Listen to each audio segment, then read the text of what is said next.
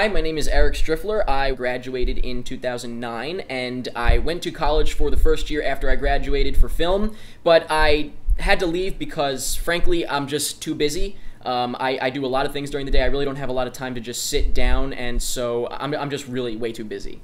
Welcome to Mario Kart! Okay, I'm, uh, I'm going to work. I'll see you guys later. Hello, my name is Mike Peterson. I graduated in 09, and since then I've attended Full Sail University, and I've already graduated from that. It was a full time two year program. I had to stay there over the summer, but now I'm graduated completely. All done. Got a degree and everything. With the current state of the economy, I thought it'd be really hard to find a job, but I actually found one right away. Yeah, I'm at work right now. Okay? Alright, I'll see you when I get home. It doesn't require any kind of degree.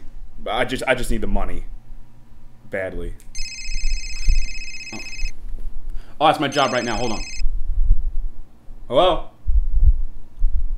Uh Yeah, but Oh, okay. Uh all right. All right. Th th thank you. Uh, okay, goodbye. I uh just uh, I just got fired.